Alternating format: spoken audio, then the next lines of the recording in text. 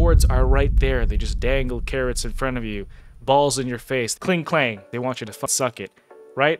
So I'm showing you guys what this looks like. Good morning. What's up, mother lovers?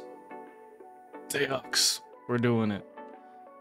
I've seen Teox do some absolutely nasty things. And so I want him. I need him. Now, a question I do have about Teox is does he need to have like multiple champions, multiple um, lizards with him to work to his full effect? Because let's see, fills his champion's turn meter whenever an enemy or an ally receives a debuff. I haven't really looked at his kit before. I've only seen view, a few videos of him doing a lot of damage, and I've gone up against him against him where he smacked me really hard. So 25% chance to counterattack whenever an ally is attacked by an enemy under a debuff. Do, do any of you guys have him, by the way? If there are multiple champions on the team with this skill they want to activate, decrease the damage this champion receives from enemies under the debuffs by 50%, and the damage allies receive from all enemies under debuffs by 20. All allies are immune to sheep. Hmm. Increase accuracy and attack. Yeah, but oh, okay, so his active skills actually get a boost too. His third one, AoE, before attacking, increased damage, extra hit anybody who has a debuff, ignores strengthen ally protect, and shield Enemies killed by this while under debuffs place block revive deals 20% more damage for each debuff on each enemy, up to 100%. No wonder why he stacks really hard when you have three allies. And I'd like to see how he does in Hydra too. It's it's unlikely. Let's be honest here.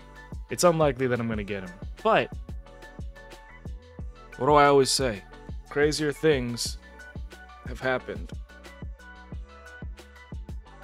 And for this Summon Rush event, uh, this is kind of expensive, no? I don't really care about the fragments. I mean, I'll probably get this one on the way to the hammer points just because it's just there. But this is pretty expensive. Normally it's right around here, I think, to get whatever it is that you need for Summon Rush events, right? It's around 3,000. And I was talking about it before, the the likelihood that they're going to inflate shit. And it looks like they have. Because now, instead of just seven, we need nine sacreds. Now, luckily, I have enough sacreds for Summon Rush. Best. By the way, I don't think I'm close to Mercy on this account. Uh, here's what I'm doing. On my alt account, and this is mostly because I, I just happen to have the shards. On my alt account, I'm going to be using... I'm going to be doing the summoning events most of them, if not all of them. And I'm gonna have to skip the summon rush on my main account. So there's that. But yeah, Teox. Teox is the goal. Again, it's unlikely that I'm gonna get him. I'd be surprised if I, I got him. Crazier things have happened. All purples. I actually like this champion, so I'm going to Arweed Quiver, Quivergrass. I She's not like the craziest champion, but I do think she's pretty pretty strong, and I just I just like her as a as a champion. I built her out in Savage, and yeah, she she can hit pretty hard. Not not like the craziest, but I took her into Hydra. She did like 400,000 plus in one hit on a decapitated head. Nothing really to write home about, but you know, still kind of cool. Oh, we're also doing a one plus one.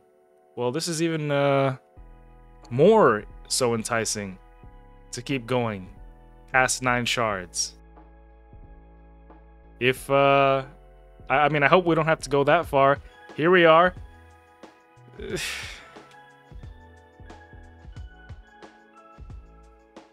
okay. Okay.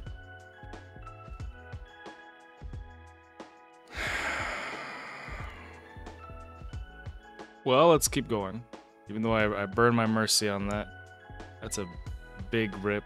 Fuck, dude.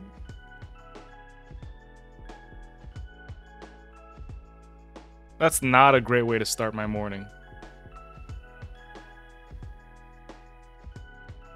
I don't even know what Vergamakamakaner does. Alright, I think we're good. We have to save. We gotta be a little smart. I'm running low. Well, I mean, now we've got everything on the first tier. Uh, you're pretty much gonna get everything from the first tier just by logging in and doing shit. So, you know what I do think is interesting for Raid, and I think Darn was the one who actually brought this up. For Summon Rush, right now, you get 100% more event points than usual summoning from Ancient Shards from Blues. I think normally it's like 20, 20 points per Ancient Shard, and now it's at 40. And then they come out with this saying that they're going to do a uh, 2x. They're doing a 2x for Ancient Shards.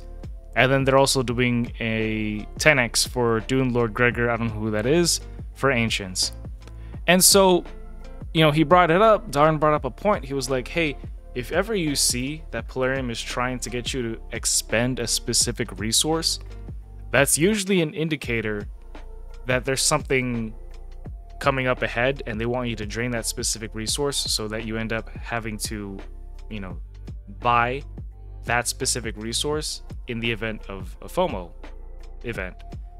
So I don't know what it. When was the last time we did a um, what was it called? A, a guaranteed for ancients. I mean, like it. It wouldn't be a shard pulling video if I didn't try just a little bit harder, right? Just try a little bit hard. You know what it is? I'm not in my lucky channel. I'm not in lucky channel number two. That's what it is.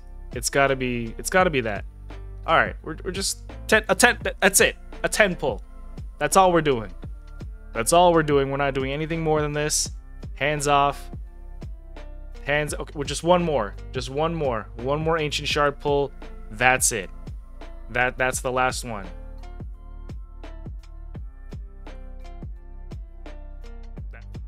I just realized I'm I'm actually pretty close to getting the champion fragments.